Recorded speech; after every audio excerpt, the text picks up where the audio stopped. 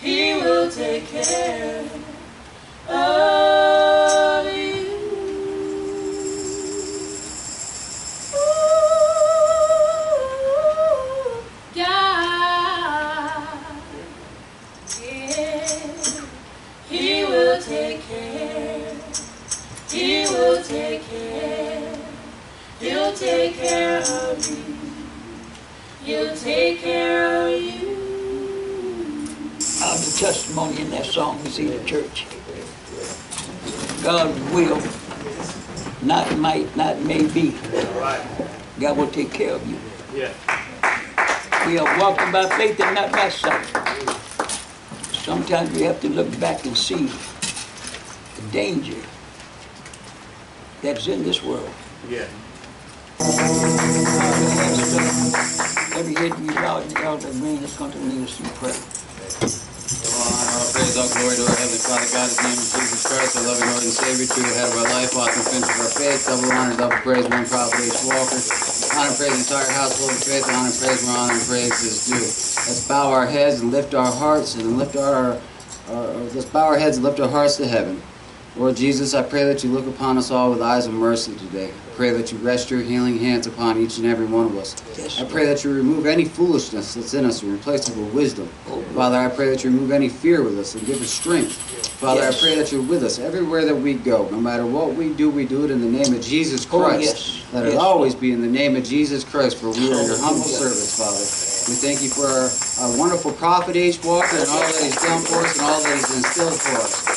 Thank you, Father, for saving our souls from the uh, fiery minds, Father. We pray that you're with uh, with Israel and with the President Trump. We pray that you protect him and give him a hedge of protection around him each and every day, Father. We pray that we strengthen him. Make sure he keeps that strong backbone. Oh, yes. Make sure he keeps pressing forward and he does it in your name, Father. Hallelujah. Father, I pray for each and every one of my brothers and sisters in Christ. I pray that you heal their bodies today and anything Yes. that they're going through, Father. I pray that you give them uh, encouragement to, to keep pressing forward today. I pray for the new sister that's here today, Father. I pray that you heal her of any affliction that she's got in her body, Father. I pray that you open her eyes and show the way. I pray that you touch Pastor Sowers so we can get this word out as clear as a glass of ice cold water. In Jesus' name I pray. Amen. Amen. If you understand, say amen. Now, whether that was a mini tornado or what, but whatever was that, snatched that tree Sure did. and placed it straight on top of two cars. Yeah. Right. Amen. Now, I wasn't in that car. And you gotta look close to see the damage. Right about there. So we thank God for his tender loving kindness for each and every one of us. Now, many could look at the negative part, car loss. But a life saved. That's right. Hallelujah. You know there's a slight difference. Hallelujah. That's why we praise him. Yeah. And thank him every day. Yeah. Hallelujah. What he's done for us and what he continues to do for us. We are a blessed church. Yeah. Now, again, the scripture is very clear, and the reason why we go to the Bible is to try to bring us up to a level On now, on a point of order, uh, Elder Kenya sat down for five days for wounding a precious soul. Now it's my job to correct, and I correct out of love. Sometimes we, you, some, you know, when you're working around devils all day long, sometimes you come home and you got a little bit heaviness on you, and you say things that you really don't mean, but you do things instantly, like. So we have to learn how to correct ourselves, and sometimes we are not feeling the best. Sometimes it's best to go somewhere and pray. And ask God to lift that or remove that heaviness from you, lest you say something that's not decent and in order. Now again, we must understand correction is for a reason. Jesus said he chastises those who he loves. And that's, catch hold of that. You don't chastise those who don't love. He chastises those who he loves. Because he's trying to bring us back, maybe we've drifted over a little bit, he's trying to bring us right back into that straight and narrow. Yeah. Let's be aware, church, of always of that straight and narrow.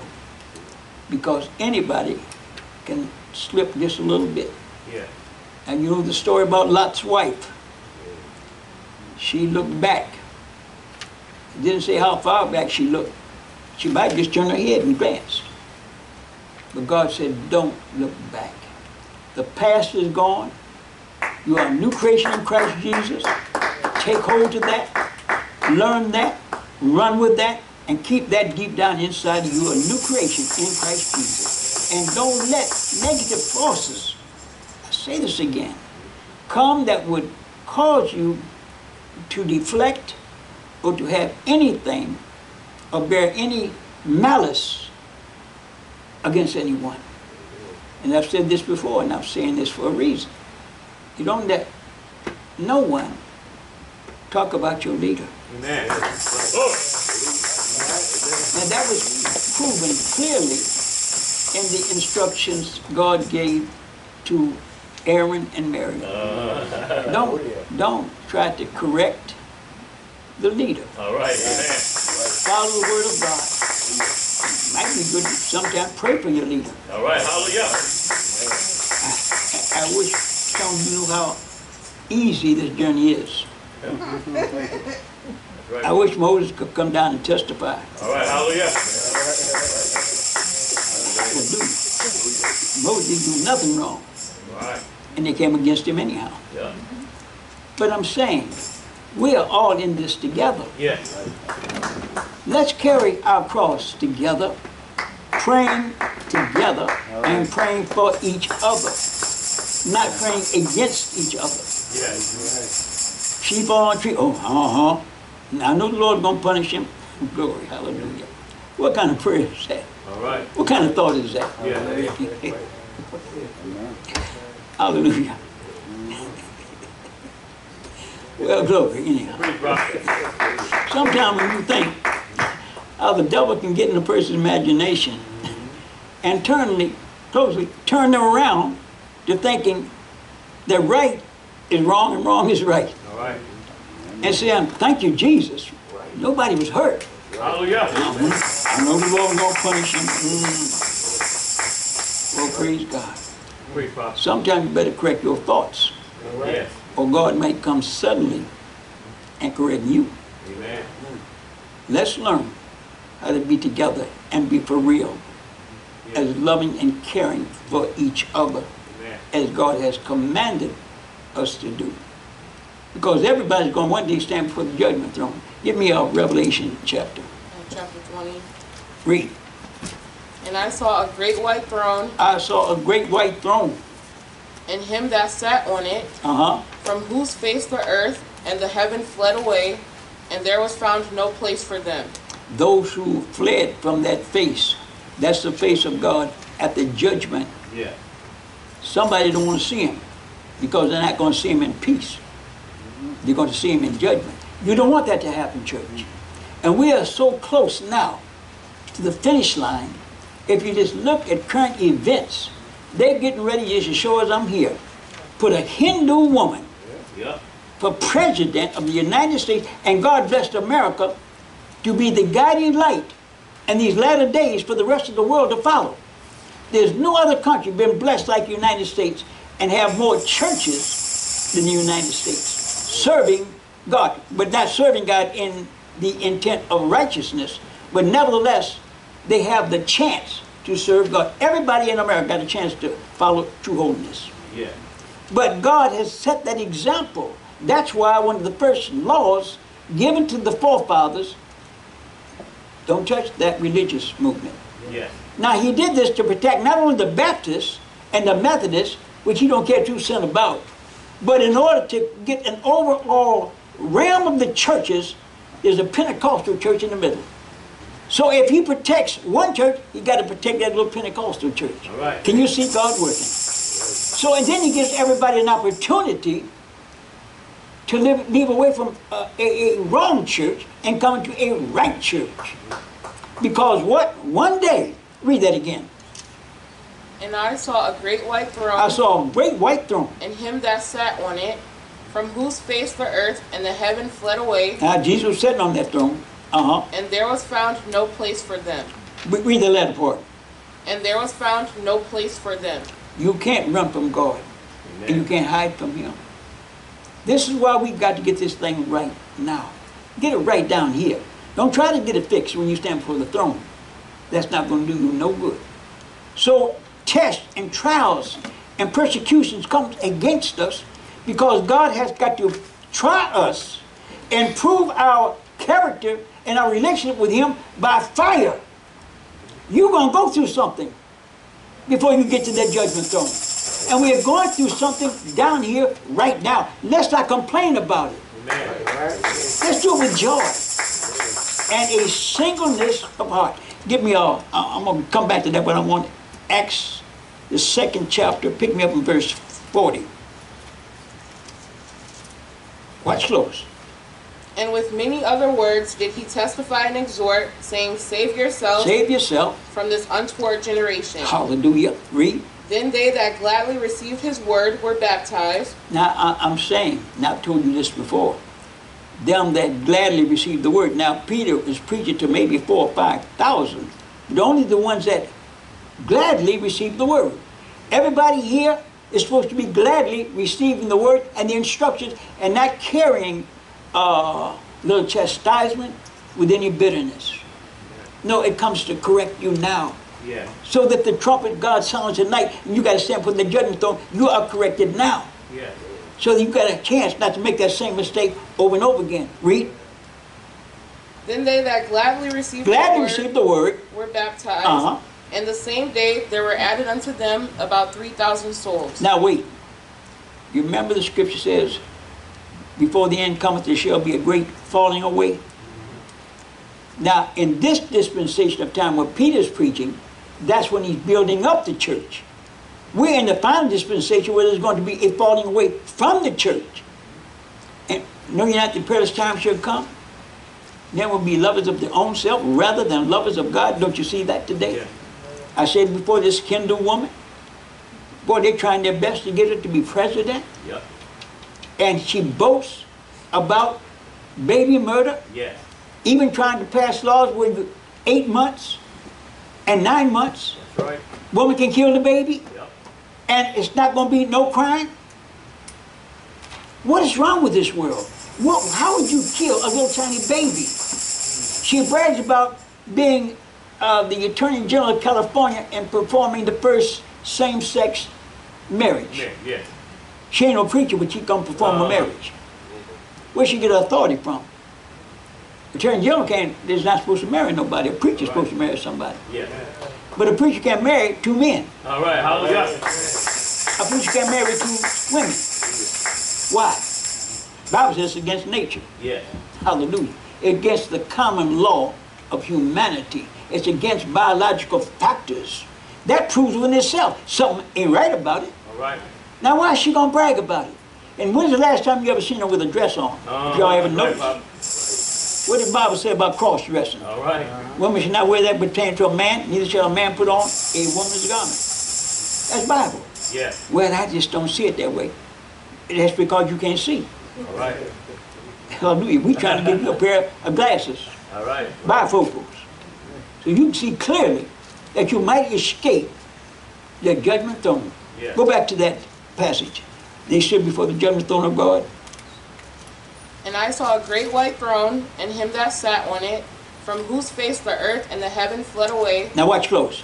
and there was found no place for them. Uh huh. And I saw the dead, No place for them means there's nowhere when that judgment throne comes. Now, after the trump of God sounds the end of all flesh, you can't go nowhere Yeah. except get in that line. And you know what that line is. Yeah. These that worship me go this way, and those who uh, have mocked me and scorned me, you go that way. Right, prophet. But everybody's going to stand for that judgment throne. Read, and I saw the dead, small and great, small and great. stand before God, Now, small and great mean whether you're a president or vice president, or whether you ain't nobody sitting in the back of the pew. How do you somebody in the sight of God? And everybody is going to stand for that judgment throne. Read. And the books were open, Books were open. and another book was open, oh, Wait, another book was open. Get me Romans chapter 6. Jump into verse 1. Y'all hang with me a minute. I know where I'm going.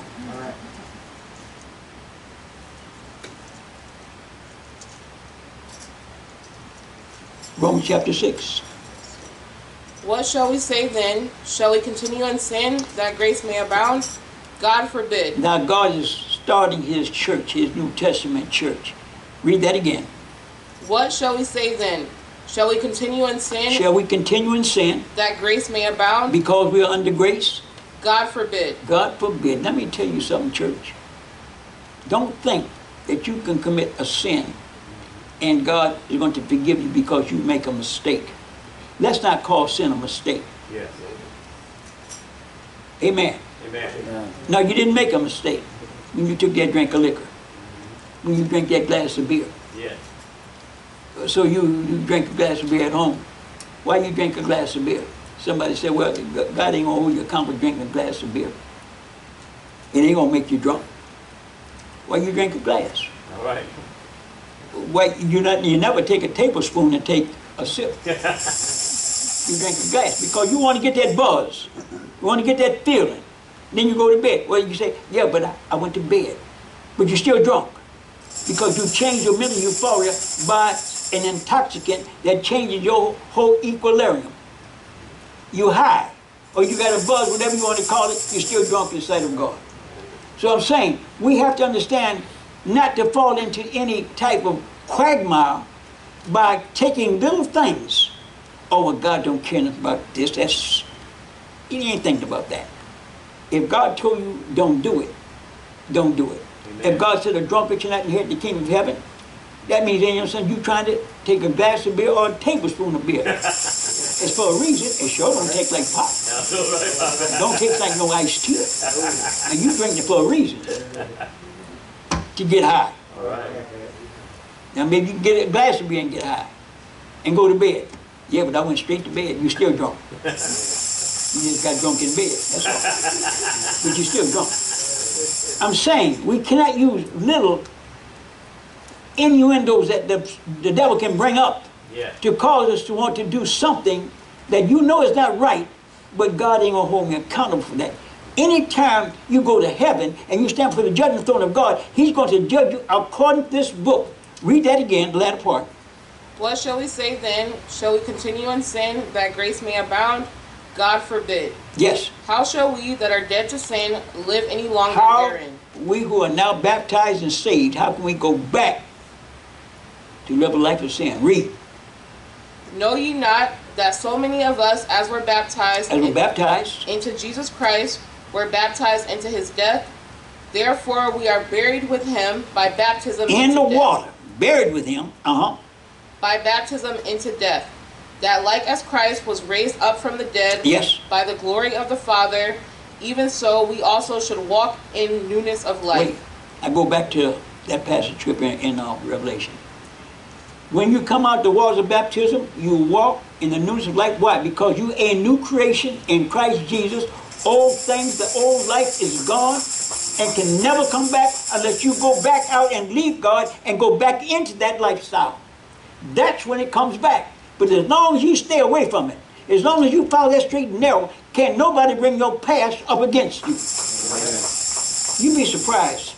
When I'm dead, probably ain't gonna do it now, but when I'm dead, they're gonna think about oh, oh, what he used to do in the past. Some of it might be true, but some of it might be a lie. All right, Father. But one thing's certain. Yeah, I gambled. Never did drink. Smoke cigars. Never did smoke cigarettes. Never bought a pack of cigarettes in my life.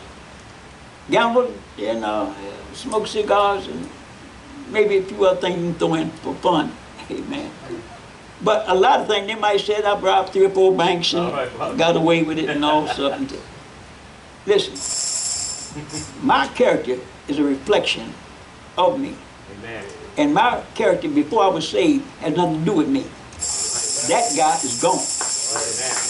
But some things don't imagine I did that they didn't do. So at least do that right. So we have to understand the Bible is to change a quality of character that you can stand before God and be judged. Because you're going to be judged according to what you have done in life not the past, but the current life. While you're in church now, when you're in church, you're not supposed to reflect back on that dead life. That dead life is gone. And the character and the qualifications of that character, lying, cheating, and getting angry and getting mad. But what is, how you gonna come to church mad? Mad at who? Ain't nobody done nothing to you in the church. Preach the gospel. Gospel sometimes make you flinch. Yeah, it will. But what, what has anybody ever done? What have I ever done to anybody in this church but treated you right? All right. Hallelujah. Taught you the word of God. Bought you cars. And give you this and give you that. Whenever you was broke, reach in my pocket. Hallelujah. Prove me wrong. You can't. Gave you a place to live. Now wait. I never promised you the uh, Hilton Hotel. All right. I never promised you that. And God ain't never promised you that down here. You go through a little bit of uncomfort. True. But when the church is trying its best to try to get you away from that little uncomfort, it ain't no really no big deal. It's a good experience. Oh yeah, I remember. Praise God, I got saved and man, didn't have no electricity for a whole week.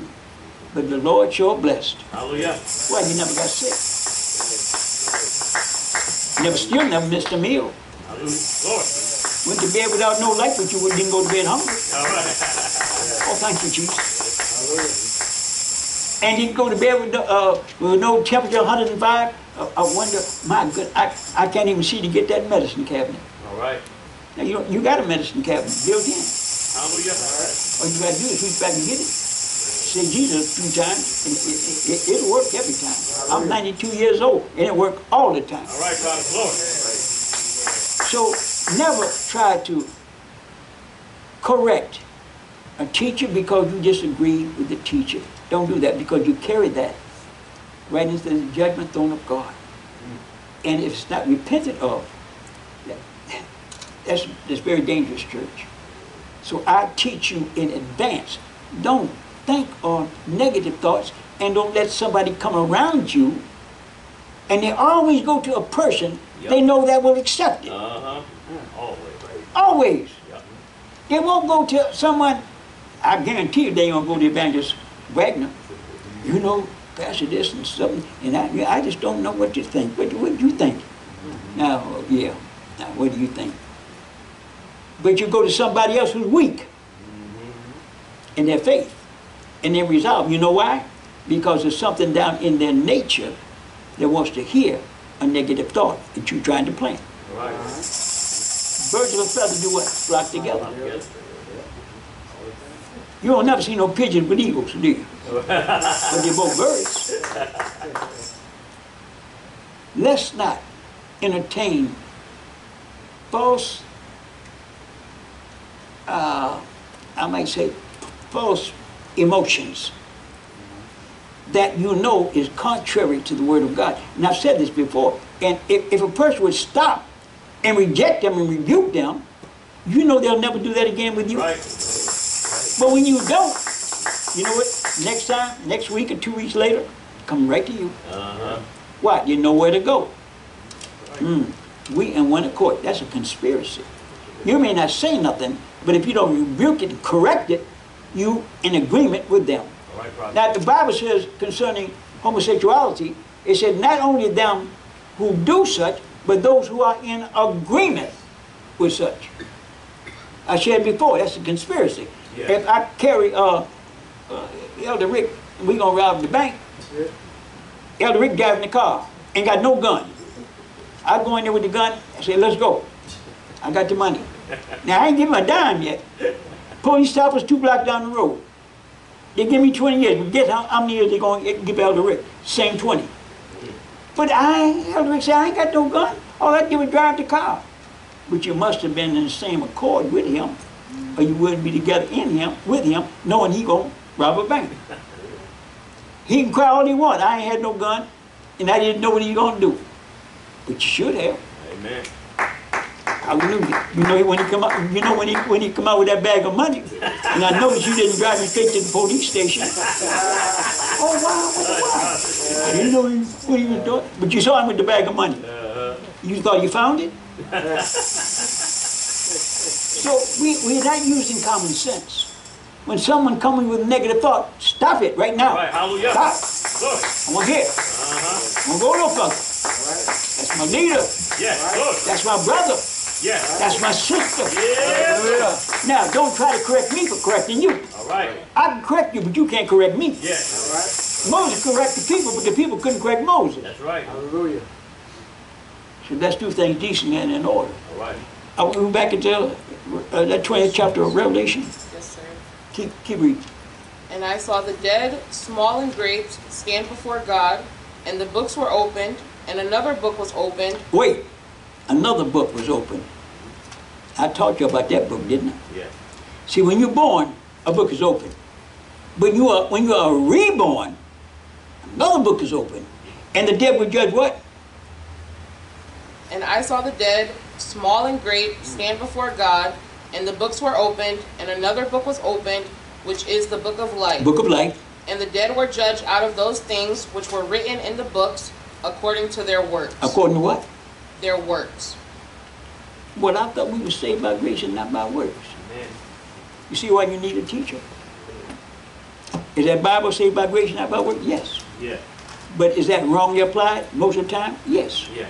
Because don't tell me living right in works. Don't tell me not lying and cheating is not works. Yeah. Don't tell me not going to the liquor store and getting a bottle of liquor ain't works. That is works. But it's good works Yeah. by me not doing that. It's bad works if I do that. So we are saved by grace, but that's grace that is taught is taught out of context. Grace saved you when you couldn't save yourself when you was out in the world. So it took the grace of God, which means the mercy of God, to save you Yeah. because you couldn't save yourself. You couldn't deliver yourself from the condition and the predicament you was in. So I'm saying, brothers and sisters, we have to understand the importance of living a life that God has established for us in the book. And there's no way you can get around it. You, you can't you can't slide this way, you can't slide that way. You got to follow the word of God. And if the word of God tells you to do something, you got to do it. So how can a person be saved and they're gonna vote for a Hindu woman for president? And you supposed to, and you go to church every Sunday to the Baptist church. Baptist church ain't never been right Yeah. and never will be right. And you gonna look the other way and close your eyes, here's a Hindu woman. First of all, she rejected the Christ. And Jesus said, except a man believe that I am he, right. he'll die in his sins. You gotta know who God is. And the reason why you don't know, because you don't, don't want to learn, but if you seek after God, you'll find him. Ask shall be given, knock the door will be open. God ain't gonna turn nobody away who's looking for salvation. Yeah. But how many people say they look for salvation but really don't want to find it? Because it costs something. It costs, I have to give up my emotion when I don't like uh, this sister, I don't think she's saved. Well, are you God? Are you saved? Oh, yeah, yeah, I'm saved, but sister, I don't think she's saved. You don't think.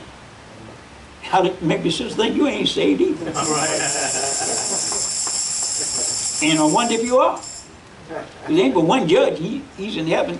So what I'm trying to do is put you in a position where there's no excuse to fail or falter in this journey. We have to follow it according to the word of truth. Now give me First Timothy, I'm gonna kind of clear up something right here. Give me First Timothy 2 and 9. Amen. Now we're going a little bit deep water here. You remember the Babylonian woman? She was dressed in and had all the kind of stuff in her hair and everything. Uh-huh. Okay, two and nine. In like manner also, that women adorn themselves in Oh, modest, Like manner that men adorn themselves. that women adorn themselves, Men, women, boys women adorn themselves. in modest apparel, with shamefacedness and sobriety, not with broidered hair or gold or pearls, Now, how many know the difference between broided hair and braided hair? The, let me show you something. The women from, from the land of Shinar, Babylonian women, Yeah. the prostitutes had a trick of braiding the hair with gold stri- strips, and the Egyptians learned this custom Yeah. With gold and red threads and uh-huh. different colored threads in their braids. Yes. That was a signal. And when God said that would the broided hair, it meant entwining things and colors to make the hair, the hair look pretty Right. and decorating it. Yes. That's what God meant in that text. And it took me a long time to find this out and research it, but you have to understand certain things. So, and plaiting, of- give me First Peter 3 and 3, and see what he says. Teach, brother. whose adorning let it not be the outward adorning of plaiting the hair, Uh, now, Peter said, plaiting the hair. Now, there are two different uh, instructions from two different apostles. Now, the plaiting of the hair, the Hebrews would let their hair grow and comb straight down. That's plaiting, straight down. No, nothing to it, that is straight down. He said, now we're plaiting the hair. Now, the Egyptians had a custom similar to that, letting a part of the hair straight down. And the other, I don't know, they would shave it, sometimes they would fa- fall, sw- uh, take it back. But the plaiting hair been straight down. How do the Hebrew women dress? First of all, they wrapped their hair, put it in a bun, and took a bone stick and Yeah. stuck it through there, and then put their head cover on if they were going outside. That was their standard of dress. That's not plaiting the hair, that's balling up the hair, and that's the style that they used. Now, heathen customs, they let the hair fall straight. Greeks did it. I don't know about the Roman women, but I know the Greeks did it. That, that was plaiting the hair. That's what Peter was talking about. In other words, what he's trying to do, and the other apostle, they're trying to keep you from adopting heathen styles of dress. Yes. Now, nowhere did it say men should not have braided hair, broidered hair. So, a lot of times when you're caught up in fixations, it's not biblical. Now, there's another thing that you have to understand. There are certain passages of scripture that were not in the Bible. One was, there are three that bear record in First heaven. John five and seven. Five and seven. Get that for me right quick, daughter. I'm going to show you. Now, I- I'm not trying to discourage you of the Bible. That's why God sent a teacher Yeah. to teach you. Sometimes you got to do some research. Read.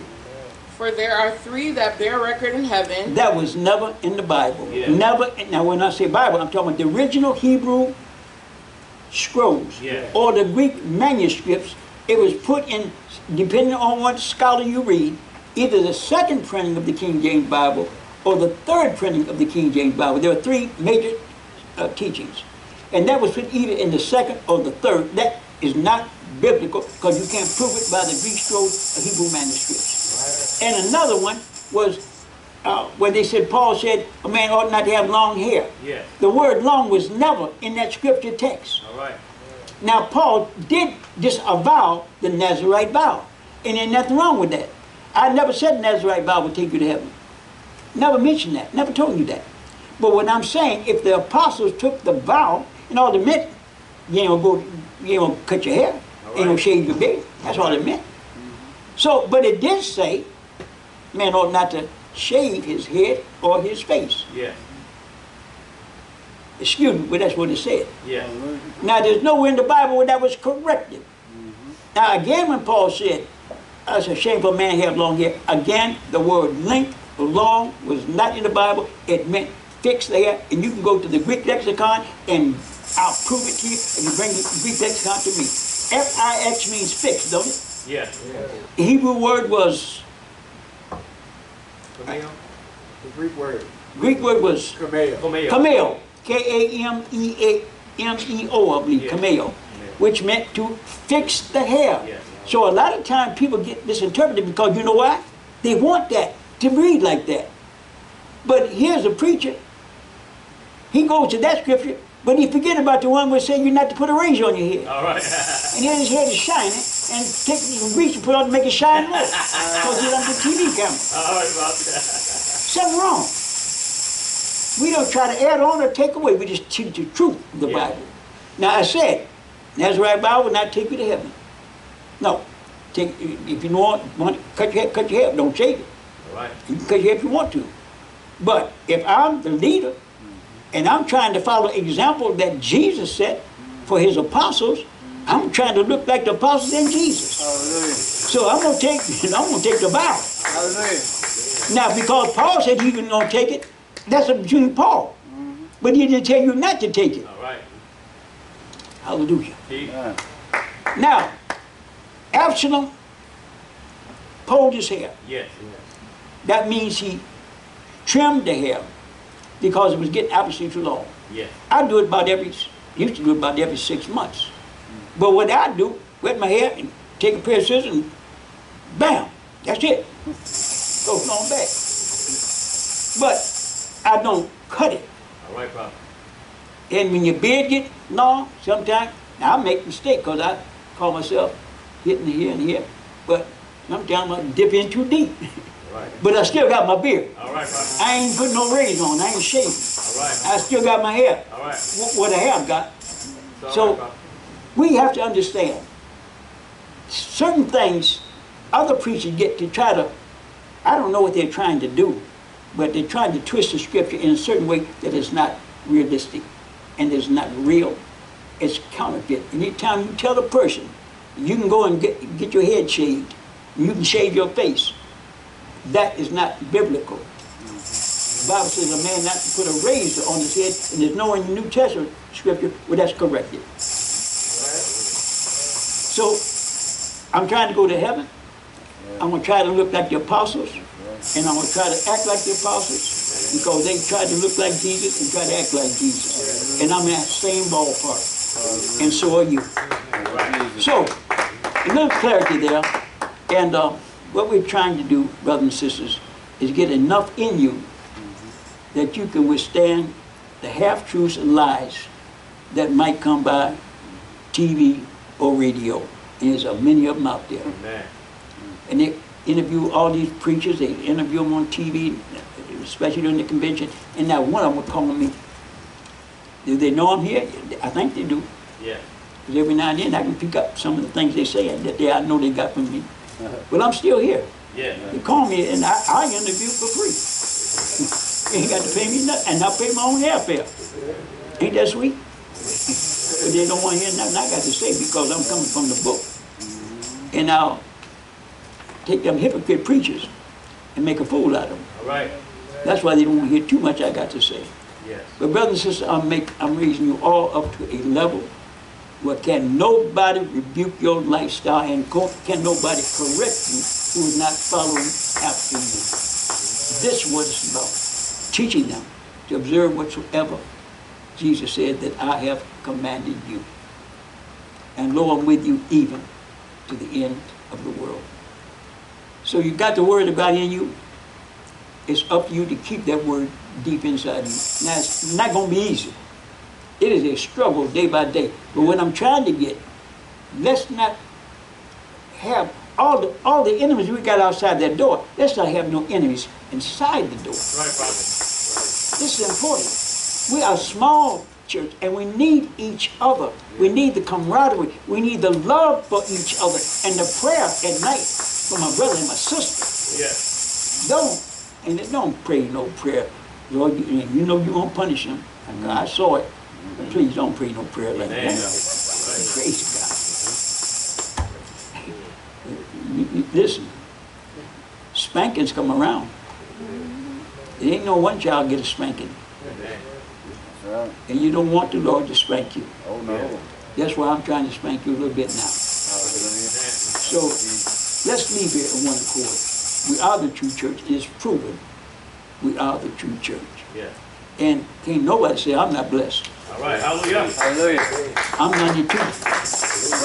I know I'm blessed. I am highly favored. Yes. So,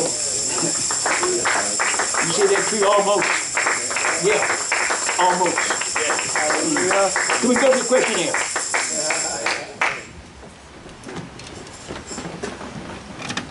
How many is this true? Amen. Well, that ain't bad. Hallelujah. Hallelujah. Evangelist Wagner will close out. Amen.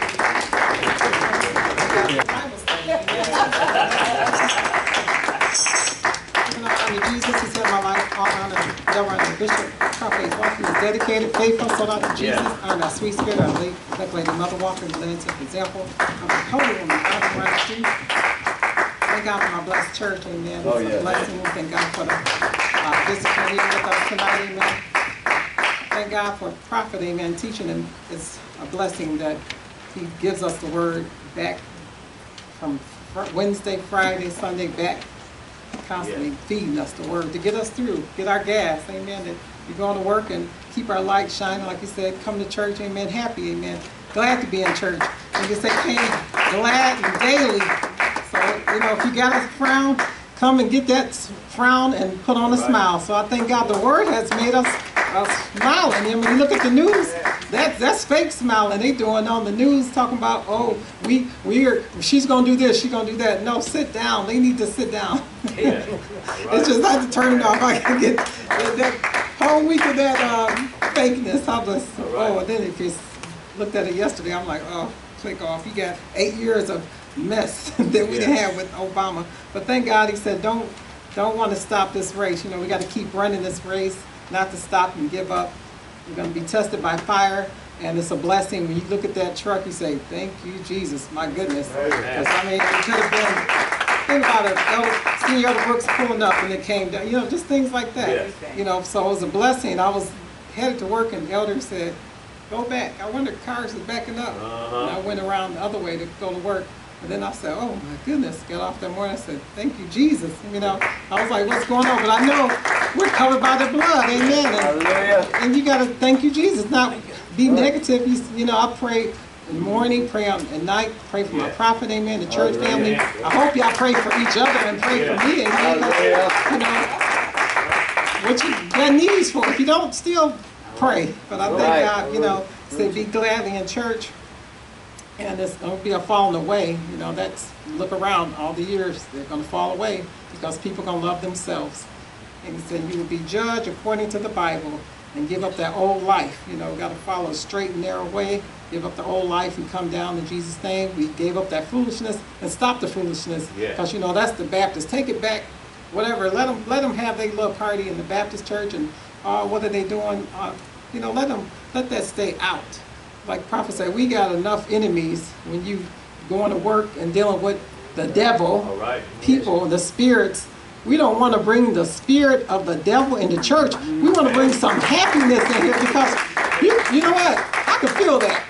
And you know what? I'm gonna get away from you. Whatever you bring it in, get off me because I don't want it. I- that's like having a, a, a, a spider and you gonna bite. No, baby, get back. Spider gonna get back because I'm trying to come to church and feel what God's given us. And you know, it's a blessing to come to church because you go to work all week and you gotta rebuke those spirits and stay in the spirit and let your light shine. You know, whatever you got going on, and you know, like I said, I shut up. You know, if you're in a, in a bad mood, be quiet, go pray. You know, don't even say nothing. Sometimes you just say, shut your mouth.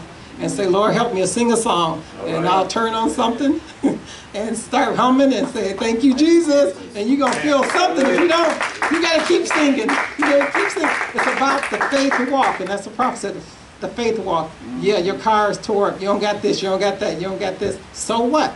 It's a lot of people in the third floor, uh, world, so even in the Philippines, they have water, no running water, they have no lights, they have nothing. And me and uh, was burning up. We thought, woo, what was going on? But these people live like that. Our back sweating and everything. We thinking like, oh gosh, and they're praising the Lord and no lights.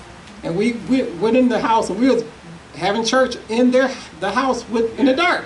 But we were so comfortable, like they said, American, we're so spoiled. Yeah. But these people are uh, so blessed and they happy and going down in Jesus' name in the ocean and things. You know, we take things for granted and you worry about small things. My goodness, go to a third world, like Prophet said. If you've been in the army, I'm in the service and been all over and seen things, you'll be like on your knees, thank you, Jesus. Thank you for the small things that you have. If you have been to a third world country, which we have in our experience, and it's truly, those people are poor. You think we poor? No. We're rich in spirit. We're rich in Jesus. And that's what you got to take the spirit with you wherever you go.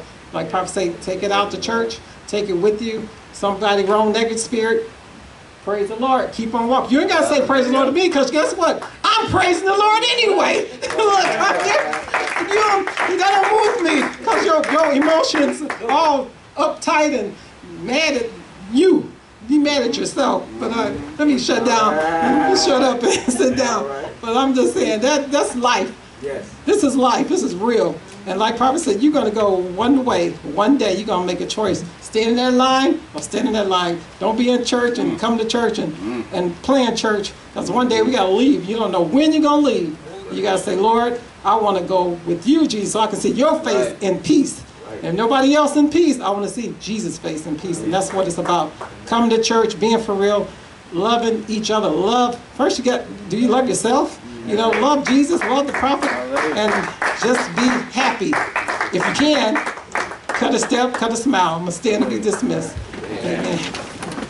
May the Lord watch May the Lord watch between me and thee between me and thee while we're absent, while we're absent one from another, one from another. in Jesus' In. Jesus' name.